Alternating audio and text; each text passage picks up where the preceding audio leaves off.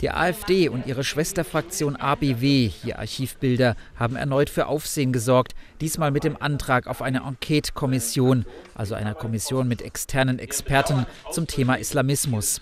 Darin soll es um die Themen Bedrohung durch Islamismus, Scharia-Recht, organisierte Kriminalität und Einfluss fremder Staaten gehen. FDP-Fraktionschef Hans-Ulrich Rülke sagte dazu, die AfD instrumentalisiere auf skrupellose Weise ihre Doppelkonstellation. Dieser beispiellose Missbrauch müsse ein Ende finden. SPD-Vizechefin Leni Breymeier twitterte, entweder zerlege sich die AfD im Ländle selbst oder sie benutze den Landtag für ihre Islamfeindlichkeit. Das sei billig und durchschaubar. Kritik auch von den Grünen, es sei ein unwürdiges Hütchenspiel mit demokratischen Spielregeln.